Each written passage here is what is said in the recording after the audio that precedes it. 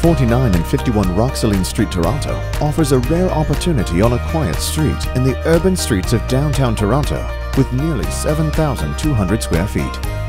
This lot could easily be transformed into three townhomes, two detached homes, or simply one large house.